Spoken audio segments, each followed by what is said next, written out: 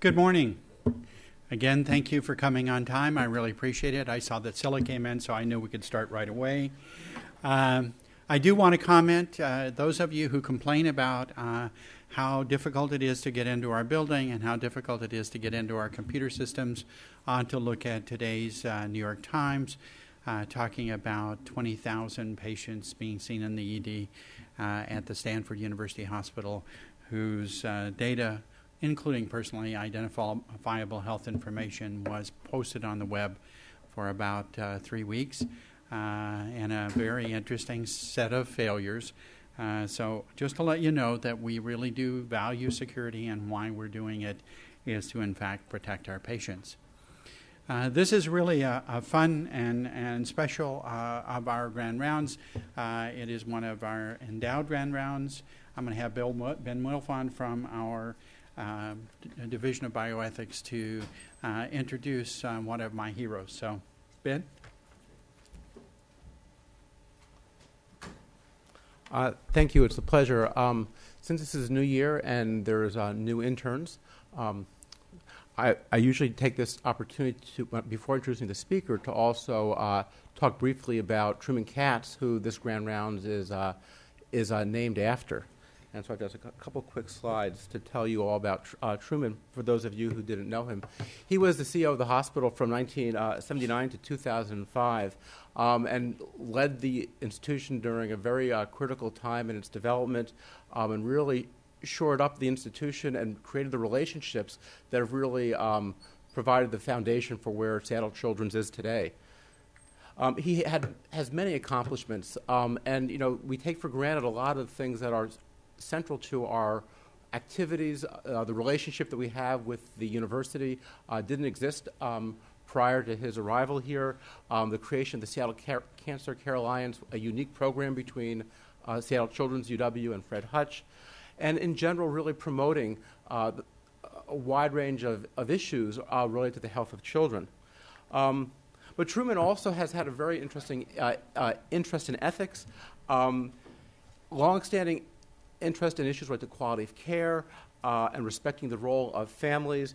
And particular, he was interested in emerging issues, uh, complementary and alternative medicine, and also uh, the, the role of clinical research uh, in promoting the health of children. And as part of those interests, um, as he was getting ready uh, for his retirement, uh, his commitment to these issues and commitment to ethics uh, led him to push for the, the creation of what's now known as the Treuman Katz Center for pediatric bioethics. We've now been here for uh, uh, six years. We now have seven core faculty and five affiliate uh, faculty who are involved in a range of uh, uh, scholarship, consultation, and education. And each year uh, we have a grand rounds to um, honor Treuman's legacy. Unfortunately, he couldn't be with us this year. Um, I'm hoping he is watching on our, our, webcast. Um, but every year we invite a nationally recognized scholar in bioethics, and this year when our faculty was talking about who we should invite, uh, we thought very quickly of our speaker today, Al Jonsen, as somebody whom um, we re- were really interested in having the opportunity to share his thoughts uh, with our community.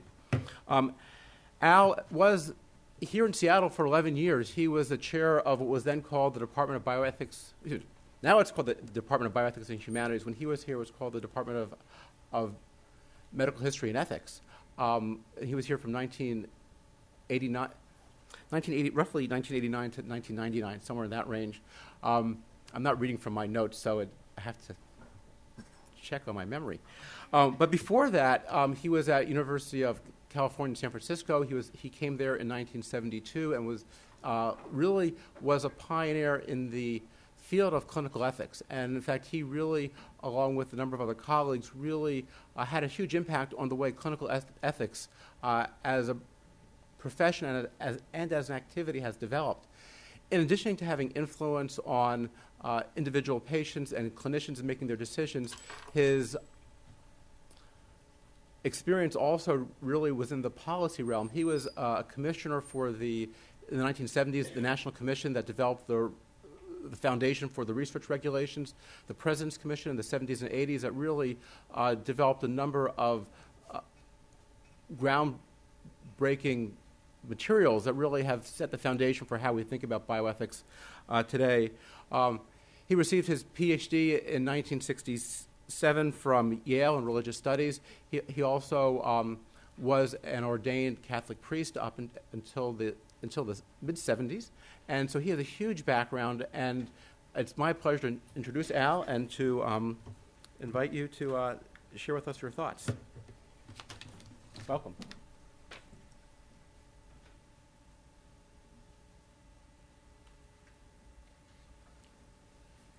Good morning. Thank you, Ben, very much. And uh, thank you, Tom, for your gracious introduction. Am I on? Am I on? Uh, yep, there I am. Okay. And uh, hello, Treuman, if you're out there down in where Palm Desert, if you have the webcast at your swimming pool side. I'm really quite honored to deliver the Treuman Katz lecture. During my tenure as a professor of medical ethics at University of Washington, I was delighted and impressed by Treuman's interest in pediatric ethics that grew into the Treuman Katz Center for Pediatric Bioethics. That center itself, uh, under the guidance of Ben Wilfond and my own fine student Doug Diekema, um, makes a steady contribution to pediatric ethics. I'm also embarrassed to be the Treuman Katz lecturer. Since I've been retired more than 10 years and have drifted further and further away from the current questions and issues in pediatric ethics. My own career in bioethics began in the neonatal intensive care nursery almost 40 years ago, and my first publication was The Ethics of Newborn Intensive Care in 1976, the days before surfactant and ECMO and all of that. But it was a time when I could speak with confidence about cases and questions of pediatric ethics. My embarrassment is uh, somewhat tempered, however, by the belief that many years of contact with these questions has brought me some sort of wisdom a wisdom that my early familiarity with the facts may have lacked. This makes me bold enough to address what is, without doubt, the central question of pediatric ethics, namely the moral relationship between a newborn and its parents. Being so central a question, it has been addressed many times by ethicists, indeed, addressed in almost every word they write about any problem. I acknowledge that broad discussion. I will not review it, but only note a few of the early major contributions. These form the frame of the discussion that has continued through the subsequent, subsequent years and will be, to some extent, the object of my critique this morning. Pediatric ethics burst to attention in 1971. During the previous two decades, intensive care nurseries had gradually come into existence as new methods and new technologies allowed physicians to save smaller and smaller premature babies. The intensive care unit was, for its first 20 years, a very private place. A few cases made the news, such as baby Patrick Kennedy, son of John and Jacqueline Kennedy, who was born three months premature and survived briefly in a Boston hospital. But in general, neonatologists and nurses agonized with parents over threatened babies, rejoiced over the clinical triumphs, and mourned the failures. Many nurseries established follow up clinics where the living, healthy triumphs could be shown off as beautiful babies, and the absentees from those happy gatherings were remembered as the failures that death claimed or disability kept at home or institution bound. Still, the clinical world of neonatology was closed and private. That privacy was about to be disturbed. On Saturday, October the 6th, 1971, a large audience gathered at the Kennedy Center for the Performing Arts to attend the Joseph P. Kennedy Foundation International Symposium on Human Rights, Retardation, and Research. The symposium was entitled Choices on Our Conscience. The symposium opened with a shocking 30 minute film. This short movie was designed to be a lightning rod for debate about the topic of the symposium the rights of retarded persons, a subject close to the heart of the Kennedy family, which cherished their retarded sister, Rosemary. I use the terminology of the time when I say retarded. The film reviewed in stark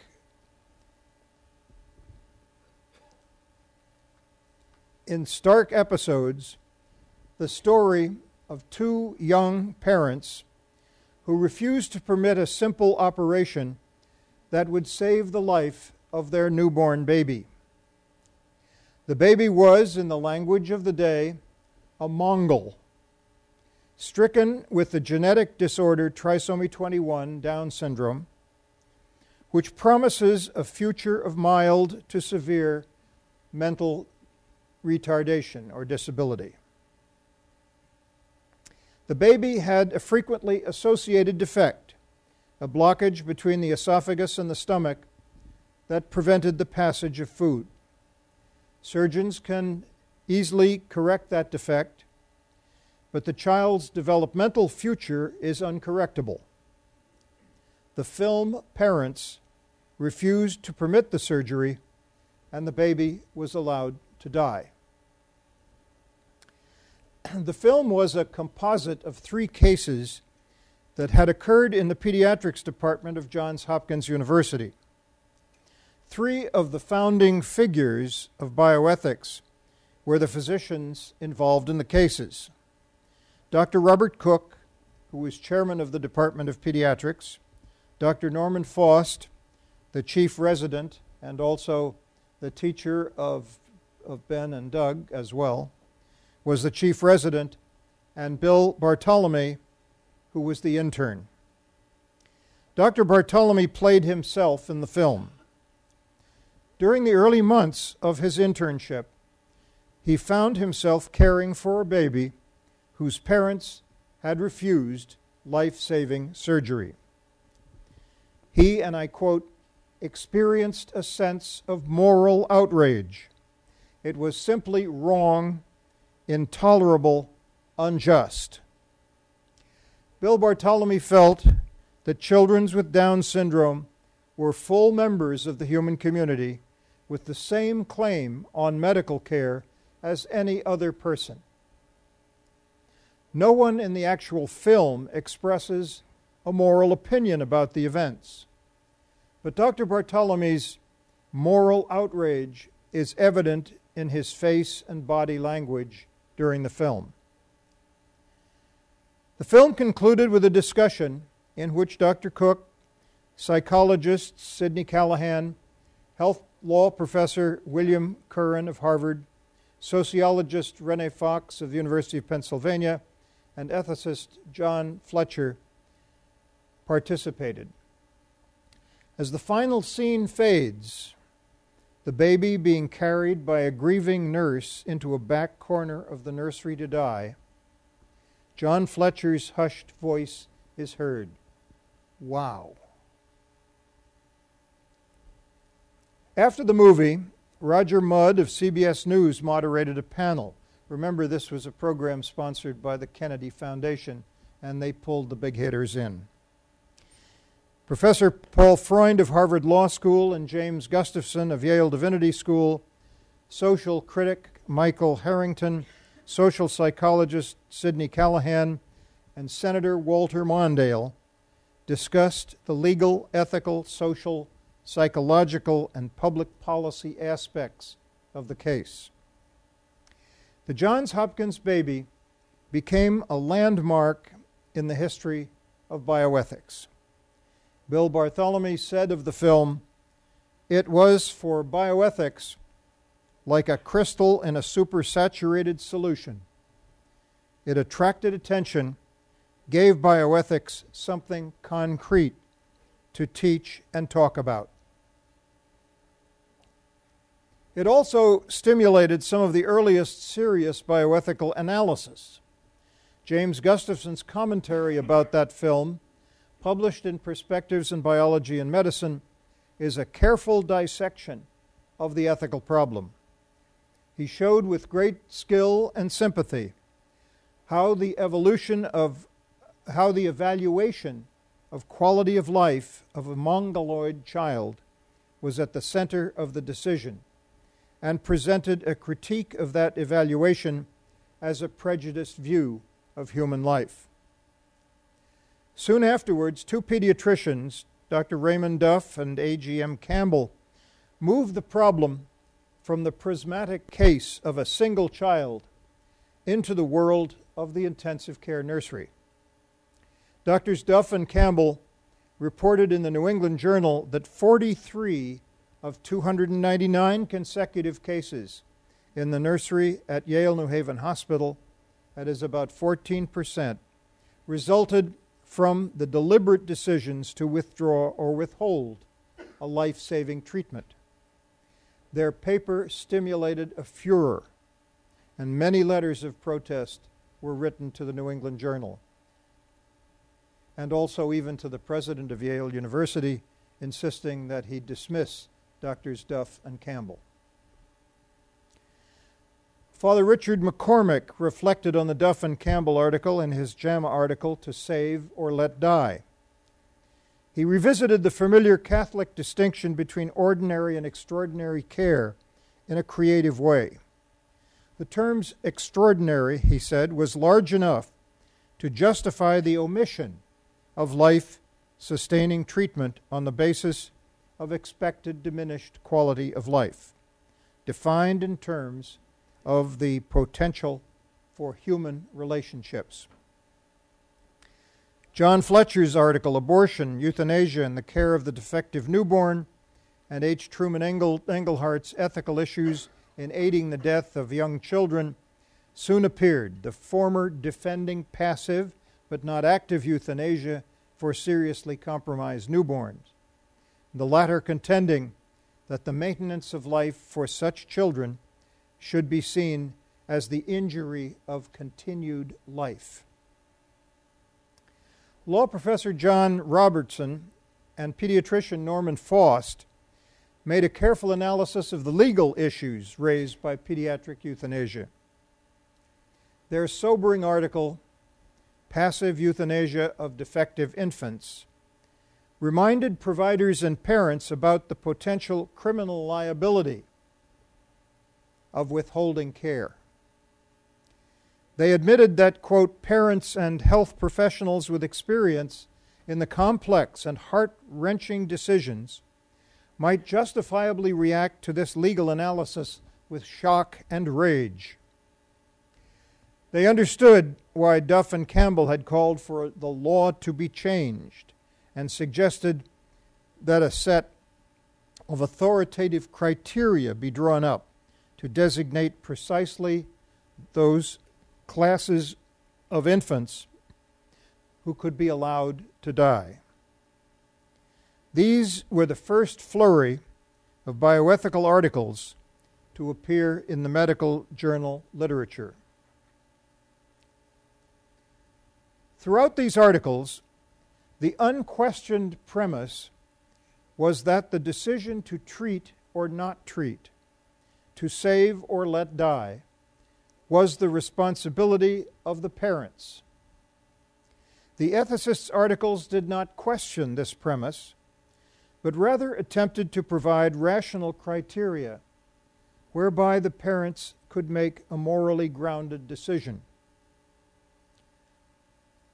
In our book, The Ethics of Newborn Intensive Care, in 1976, Michael Garland and I wrote that the almost tautological sentence, quote, parents bear the principal moral responsibility for the well being of their newborn infant. Almost all other authors strive to state with some specificity about how far this moral responsibility should reach. This emphasis on the centrality of parental responsibility reflected the powerful moral imperative of respect for autonomy that had emerged for a variety of reasons during the 1950s and 1960s. Autonomy in this conception is an expression of the uniqueness of the individual, formed through his or her choices about life and lifestyles. In this formulation, autonomy clearly is not the property of a newborn who knows no options and is incapable of choices and expression. Thus, the moral property of autonomy defaults to the parents, who must exercise it in the best interest of their infant. It was not always so clear. Through the long history of Western morals and law, the status of children was tenuously linked to the power of parents to dispose of property. Although always hedged about with some moral restraints, parents could and did give up, expose, or abandon infants. When physicians became involved in birthing, they commonly determined whether the infant they had assisted into the world was able to live or should die.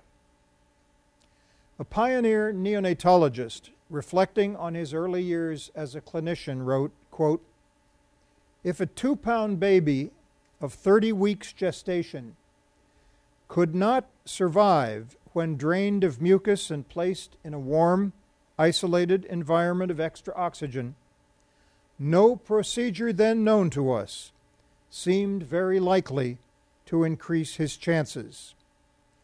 If he died, as he often did, we presume that he was, in simple terms, unable to live.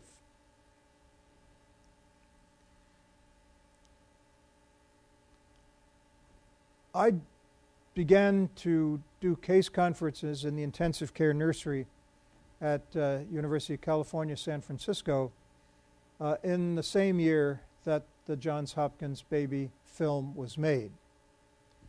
The, um, uh, the director of neonatology wanted to show that film to the medical students. We did so, and we had a, a vigorous discussion about it. And it became, uh, as Dr. Bartholome said, uh, a kind of a landmark in thinking about problems in neonatology.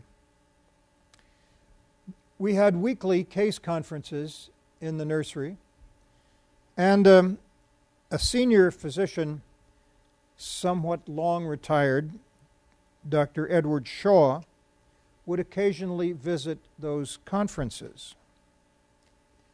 Although he mostly listened in silence to the complexities of current neonatology, he would occasionally comment sagely on the case, and he would say from time to time, when a baby's life was in the balance, the baby will tell us. That's the topic of the title of my lecture today. Several months ago, I read a painful article in the New Yorker, which some of you may have seen, entitled The Aquarium.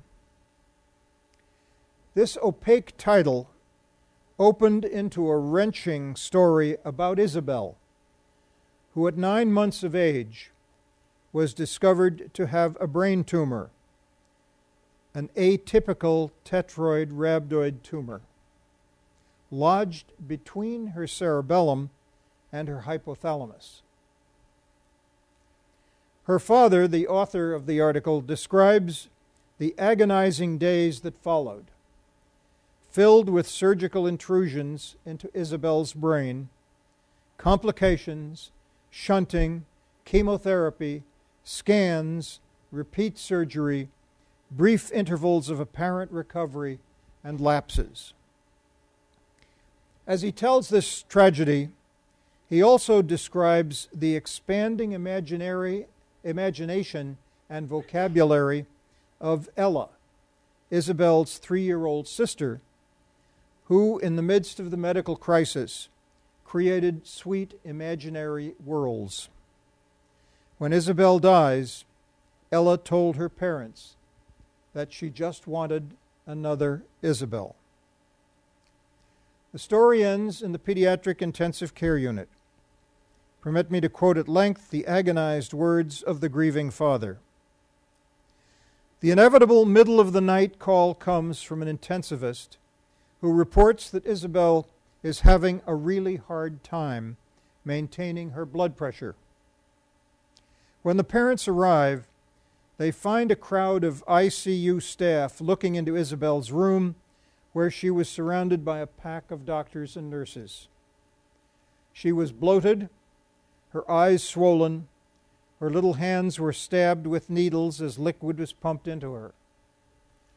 Dr. Fangaro and Dr. Lulla sat us down to tell us that Isabel's state was dire. Teri and I needed to tell them whether we wanted them to try everything that could save her. We said yes. They made it clear that we would have to be the ones to tell them to stop trying. By Isabel's bed, a gray haired attending physician, whose name has vanished from my mind, though his face stares at me daily, issues orders as residents take turns compressing Isabel's heartbeat. They bring her back as I wail, My baby, my baby. Then there's another decision that Teri and I have to make. Isabel's kidneys have stopped functioning. She needed dialysis, and an immediate surgical intervention is needed to connect her to the dialysis machine. We say yes to it. Her heart stops again. The gray haired doctor says 12 minutes, telling us that she was clinically dead for 12 minutes. Her heart stops again. A young resident is heart, uh, half heartedly compressing her chest waiting for us to tell her to stop. We tell her to stop. She stops. That passage reports not only the dreadful death of a baby, it also reflects the stern imperative of parental autonomy. The doctors make it clear that we would have to tell them when to stop, to stop resuscitation, to refrain from dialysis. Those parents must stand by their dying baby, watching life saving maneuvers mangle her, and then from the depth of their pain and sorrow, issue the order to cease and desist. When I read that passage, I recalled the words of Dr. Shaw my senior friend in the nursery at UCSF. The baby will tell us. Isabel does not have the autonomy that speaks out its preferences. She has, however, the deeper autonomy that does not choose and speak, but which marks her as a unique, irreplaceable specimen of humanity. Her sister, little Ella, will never have another Isabel. That deeper autonomy manifests its individuality by its physical reality growing, connecting itself together organ by organ, sense to sense, rapidly opening itself to a world of people and things, love, care, and crisis. The newborn infant speaks with its first breath announces itself with its first cry. It is this physical message that Dr. Shaw was advising us to listen to. When senior neonatologist Clement Smith wrote, and I quoted before, when the baby died, as he often did, we presumed in simple terms he was unable to live. Often enough in Dr. Shaw and Dr. Smith's time, being unable to live meant being drawn into an environment of air with lungs as yet unable to process oxygen and with no technical means to remedy that inability. The baby was sending a message in its own way with the means available to it. As technical proficiency grows, the baby's message is muffled. We may think of Dr. Shaw and Dr. Smith as old men mumbling metaphors. Even more when we have elevated autonomous decision makers with their yes and no answers to the questions posed by doctors we are no longer allowed to listen to the baby's message. It is in a medium that is not recognized by ethics or law. It cannot be heard because it expresses itself through experience of the gradual, unf- uh, the gradual unfolding of evidence that something that should be growing together is not and will not. It is a message like appreciation of art or music or natural beauty. These speak an inexpressible, though real, language. I am unable to translate the insights of Dr. Shaw and Smith into the logical, practical terms of clinical bioethics. I have no bioethical theory to support them. Yet now, after many years of experience, when I am as old as Drs. Smith and Shaw were when I heard them speak, I believe that behind the logic and theory of bioethics, there must be an appreciation of their wisdom. Modern pediatricians and neonatologists have so much skill and knowledge behind knowledge and behind that skill and knowledge there must be a wisdom that teaches them what the baby is saying, and that they can convey to the parents of babies whose inarticulate autonomy is telling them it is time to stop. The parents in their grief will often naturally hear their baby, unless distracted by the noise of technology and the solemn, but often misguided pronouncements of physicians. The wisdom of pediatrics draws both hope and realism from the inarticulate autonomy of its infant patients. Thank you.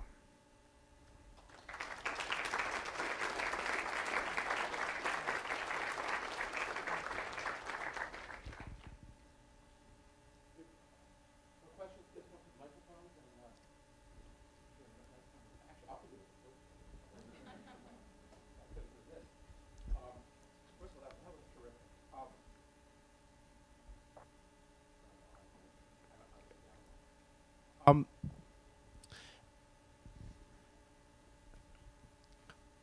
I appreciate the challenge of figuring out how we know what the baby will tell us. But I was struck by the way the, the example you gave in the beginning and the example that you gave at the end were two very different types of examples. The last example of the enthusiasm for technology in spite of diminishing returns that might be clear to everybody in the room or close to everybody seems very different from the Hopkins case from 1971. But yet, the, those parents or those physicians might also say the baby should tell us, is telling us we shouldn't. This has this duodenal atresia. We should not do anything further. So how do we distinguish between those two cases, and how do we know when the idea the baby will tell us is being used as an opportunity to say, we don't like people who are Mongols. Thank you, Ben. I, I could claim to be inarticulate, in response to your question, since I've been talking about being inarticulate. But uh, you ask a very good question. There were two very different cases. The first case, the one in the film, and the case in the New Yorker article. Um, it's precisely the work of the field of bioethics to learn how to make those distinctions and to expose them uh, in their teaching and in their consultation. Every case is a distinct uh, and unique case, uh, although they cluster into classes of cases. Um, the, the kind of case uh, where the idea of the baby speaking its message um, is, is more appropriately applied is a case in which there have been uh, fairly significant efforts to repair the defects uh, that one is dealing with. In the case, of course, of a premature newborn, of a very premature newborn, it's, it's getting lungs to breathe. And um, the, in the case of, the, of baby Isabel, it's a question of making initial surgical attempts in what was considered by the surgeons an operable tumor, although very difficult to get at. However, the repeat operations began to show that the baby was sending its message. So I'm thinking that the difference between those two kinds of cases has to do with the efforts of others to come to grips with the baby's problems, and those, those continue to fail. I remember um, being very impressed when I first uh, consulted uh, in the nursery, hearing fairly commonly, frequently from nurses in the, nursery, in the, in the nursery, frequently the phrase, What are we doing here? And these would be babies where there had been time after time efforts to get them to start growing together, and they weren't doing it.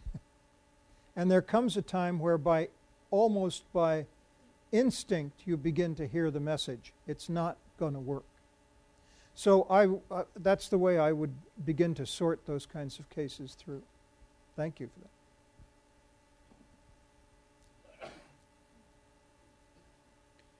Al, I'm going to unfortunately continue that theme.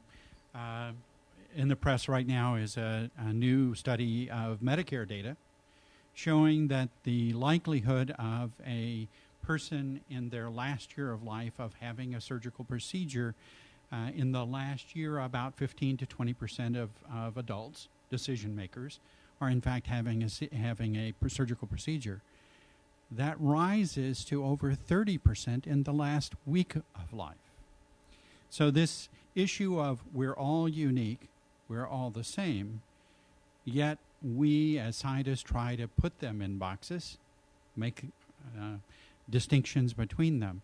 This challenge of how do we balance that individual and a group process that is not unlike that, that cultural decision of a Mongol has these features. Thank you, Tom. That, um, that of, uh, of course, it moves uh, to a large question of health policy uh, that has its multiple complications. Um, I'm always a little skeptical when I read those last year of life numbers because um, the previous, the surgical operation that may precede the last year of life, you don't know whether it's going to be the last year of life or not, and you hope it won't be. um, and, uh, and many medical, there's an escalation of procedures when there is a critical illness, regardless of what, of what aspect of life you're in uh, there is that kind of escalation. But when the figures are put out to, to, uh, in a gross fashion, that's the kind of data you get. And uh, it, it is probably the case uh, that uh, well advised people might often reject those procedures if they're well advised. Uh, the the, the um, studies done a few years ago by um, see retired professors should just keep their mouths shut because they you know the most important thing of a professor is to be able to pull every name right up. Um, the um, um, the guy, uh, the health policy guy at Dartmouth, who did studies of uh, surgery for prostate cancer, and uh, made an effort to give very, very complete, full information to all the patients in the study, and the patients who were fully informed very frequently refused the surgery, given the data that they had about survival and the, at, a certain age and sur- so it's possible with the intense efforts people would say no that's really not what i want. Uh, just several days ago my brother um, who uh, who's uh, age 76 had mitral valve surgery and um, I think he was he was not well informed. He did well in the surgery, but he really didn't know the risks um, very clearly. It was just this is what you should do, and he did it. However, there are policy approaches that have been made that don't depend on the decisions of individuals. Um, your neighbors in the state of Oregon have attempted to do that about 20 years ago by drawing up a long list of procedures uh, in terms of their efficacy and costs and so forth. It, it ended up uh, the first in the first iteration of that list that it was filled with, with paradoxes. I think the first iteration said that the most uh, cost-effective medical procedure is uh, correction of an ingrown toenail. Uh, and that was at the top of the list as something that was fundable. And the least effective was uh, treatment of a very small premature baby. That was at the bottom of the list. So those lists are hard to make sense of oftentimes, but it's a policy approach uh, to look at the cost effectiveness that has to be then worked out into their clinic and into its clinical practicality in talking with patients and so forth. But it's a big piece of that clinical discussion when you say, but of course, if you choose that, there's no insurance for it. Um, that was the attempt in Oregon. I don't know how they've dealt with it, and it, it applied only to, to uh, Medicaid patients. Uh, I don't know how it's been dealt with. Is that program still operating in Oregon? Does anybody know? Yeah, so as I know of no other effort to do that. In certain countries, the culture is different.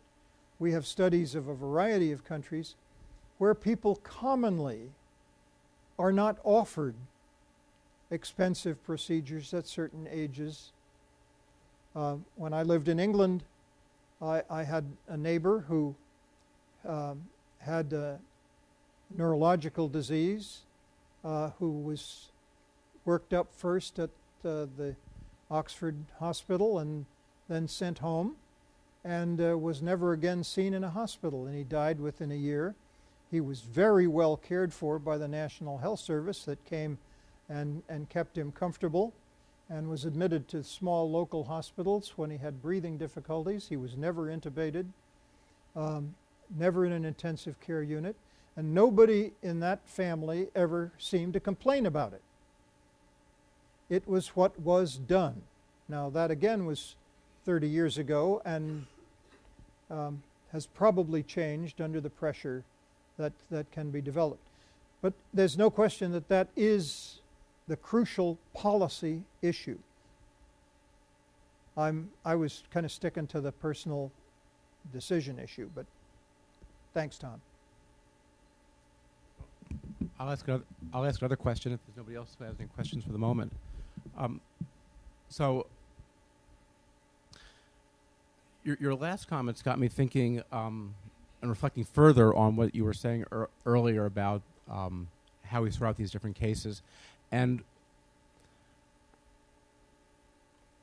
I want to share with you as well as with the group a, a, recent consult that we had here that was not a consult about what occurred at this hospital, but was really um, hearing the, the experience uh, of a family at another hospital. Um, this was a, a, child who was born with trisomy 18. So, like Down syndrome, but with more severe developmental delay. Um, most of those kids die within the first year of life, but some live longer. The issue was, in this case, is that thinking about this idea of, well, we can't do everything for everybody, there was a pretty clear sense uh, from the, the other clinical community that it was not appropriate to do things like suctioning or provide oxygen, and this family really ought to be encouraged to go home so their child could die. And they did that reluctantly and with a bit of distress, and came here about 11 days after because the child was still alive, and, and were also seeking care. And so, again, it gets. And the reason I'm bringing this example up is because it seems to me as we think through these policy decisions, how we decide when it's whom it is appropriate to provide care for, I can imagine using that example, there will be some who will be very clear that something like trisomy 18, of course we shouldn't be providing care for because those kids are going to die at some point. On the other hand, there might be some parents who might say, gee, my child has a 10% chance of living more than a year. So, how do we reconcile these different views about something like profound disabilities, and how is this similar or different to what happened with the, uh, the Johns Hopkins case? Yes, yes, yes. Um, I think that the kinds of things we we talk about in, in the field of bioethics um, provide, if we're any good at what we're doing, uh, provide a um,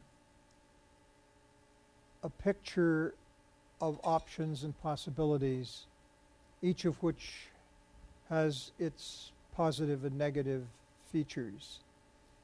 The positive and negative features not only being uh, the effects on the child, but the effects on family, on parents, and on uh, the hospital, its utilization of, of uh, its resources, on costs, all of those being part of the options pro and con. Um, a second thing that we, we do, if we're good, is to be able to bundle those into certain kinds of cases.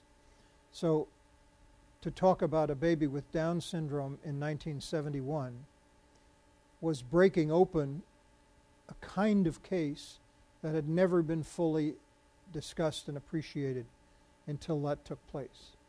There were the beginnings of concern, but in 1971, Down's children were oftentimes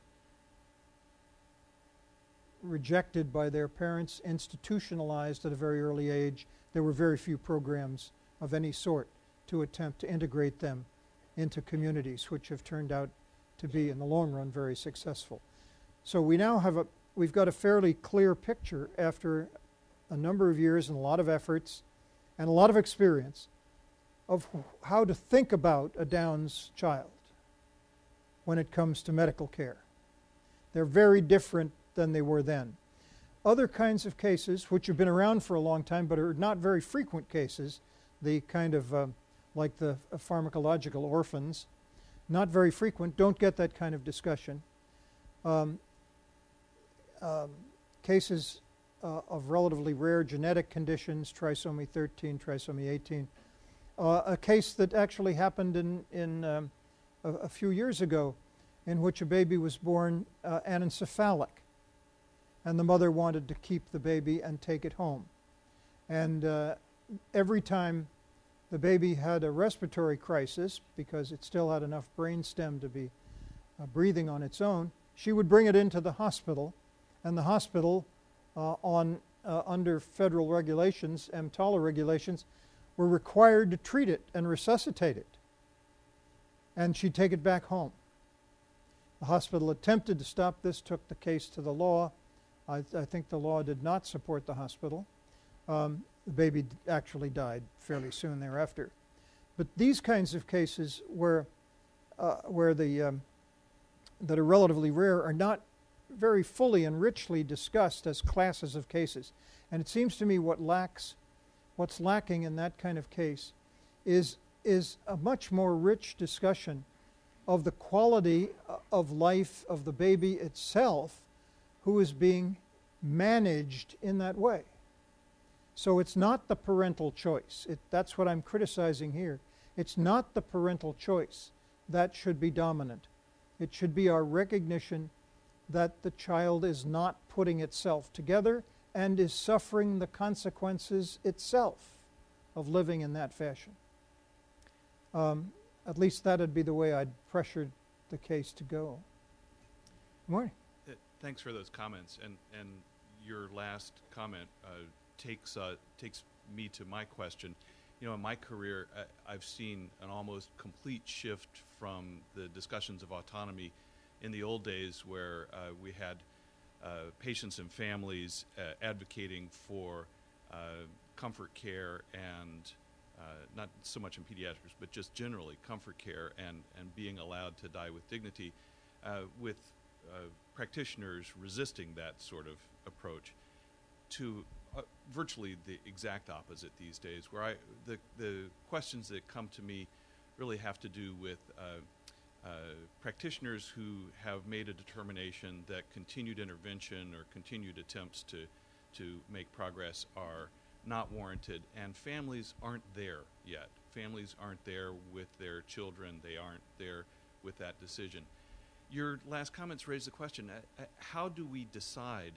Uh, uh, as a community of caregivers, as a, as a culture, as a nation, what are the benefits of our interventions? So your, your Hopkins case, I, I think we have a very strong consensus now that that relatively simple surgical intervention, uh, the benefits of it completely outweighed whatever uh, risks there were, and the, the outcome was a highly desirable outcome the I, I, read that article in the New Yorker, the Isabella case. Uh, you know, ultimately the parents formed a conclusion that continued interventions were not producing any benefits for that poor child. We see so many cases that are in between, and yeah. and we struggle to figure out uh, what interests are to be advanced here. Is it beneficial to this child to have another day of life? in the care of loving parents? Or is it not beneficial because of uh, the, the ultimate prospects or the, the uh, pain that that child may undergo? How do we make decisions about beneficence yes, in this context? Yeah. Well, that's a, a, very poignantly put question, Doctor. I, I experienced uh, over the years exactly the same shift. Um, we often had, when we started the work in bioethics in the 70s, it was frequently the case in which parents, in which patients, and adult patients, families wanted treatment to stop, and the doctors wouldn't do it. Um, the case, the cases that became famous cases, uh, the Karen Ann Quinlan case, um, which many people remember.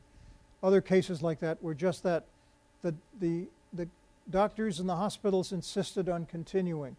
Everybody else in the case said, stop it. Over the, the next 20 years, that shifted dramatically, in which uh, health care providers became more ready to stop and, and, and suggested stopping, and, and um, uh, families were not there yet. I think one of the great advantages of the field, field in which I've worked, the field of bioethics, is that it has, as it's developed, has, has recognized those gaps, and that one of the common features of a bioethics consultation is to try to draw both sides together. By looking at the variety of circumstances, frequently parents will be looking at the quality of life of the infant and, and seeing it terrible. And doctors will say, but the child will survive, you know may survive. And so somehow that kind of understanding appreciation has to be drawn together. And bioethics consultation, in my experience, very often does that in a way that a, that a, a pure medical consultation does not, because it doesn't oftentimes bring in all the features.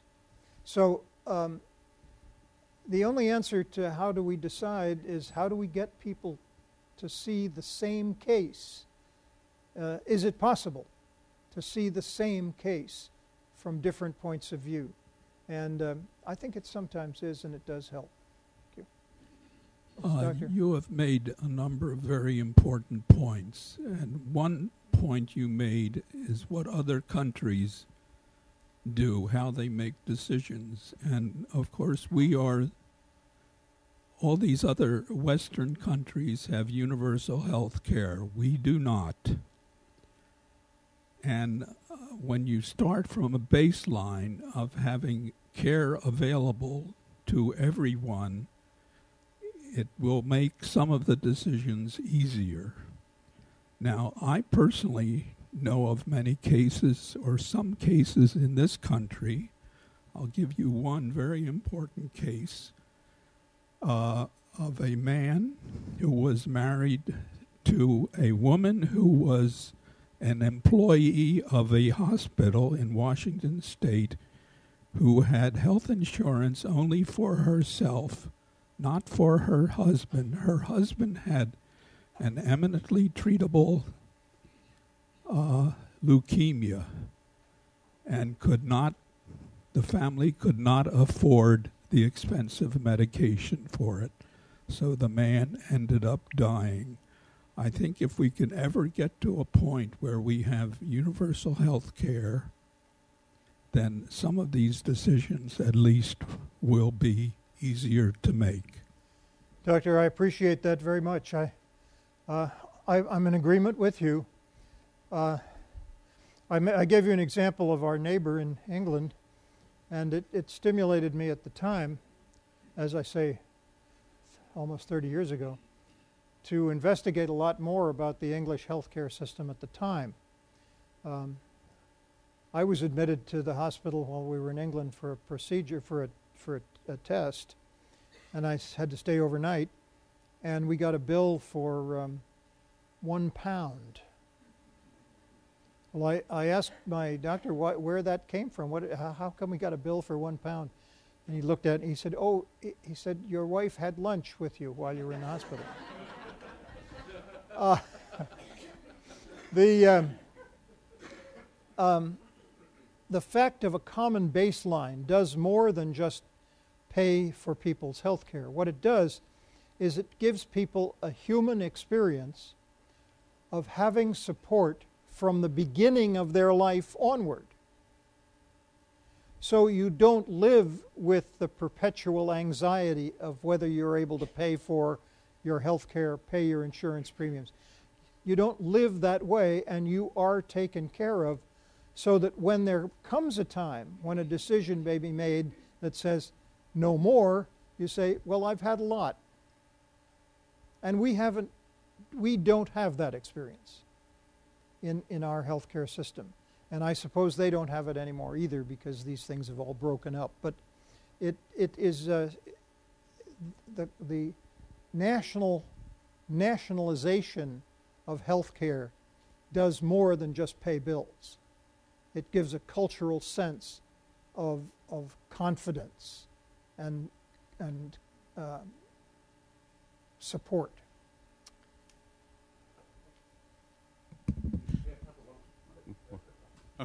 Well, as uh, someone who participated in some of your seminars at St. Thomas More at Yale, I thank you for yet another uh, very provocative and, and thorough discussion. I, what I just picking up on some of the initial themes, one issue with the kids with severe problems like trisomy 13, trisomy 18, who, of, and I've taken care of such kids who've gotten to be teenagers, is you need to listen to the baby because some kids are not going to die. And you have to have some, even when we think it's a 95% risk, you've got to have a plan in place. Yes. In case that baby doesn't. Yeah. And that was the problem in the case I think that, that you brought up. Uh, and another, just another thought on the uh, kind of on the flip side. Um, certainly, there are babies. Well, most babies have an incredible will to live. I think that's why a number of us, and a lot of us, are in pediatrics. But sometimes you do see that disappear. And so I really think that your, your, the title of your talk uh, is still a really, really good one. We have a lot of work to do to figure out how to maybe objectify, objectify some more of that, but I really think it's valid. Thanks. Thank you very much, Doctor. Good. Another Yalie, huh? Um, I just one comment in response to that um, is that the uh, uh, the kind of uh, crises that arise in the course of any medical care, any, any sort of, uh, whether pediatric or adult, uh, always does need a backup that's out there. And we have one now that we didn't have before. Um, I think the development of palliative care, also over the last 20 years or so, as a real specialty, and part of that coming from University of Washington, Dr. Bonica back on pain care and so forth many years ago, developing into a real specialty gives a backup that people didn't have before, where you don't have to say, there's nothing more that we can do. There is more than we can do, and, and that is a shift to a different form of care that's appropriate to this patient's future. And I think that's a, a, a great and wonderful development. So thank you very much. Thank you for the questions.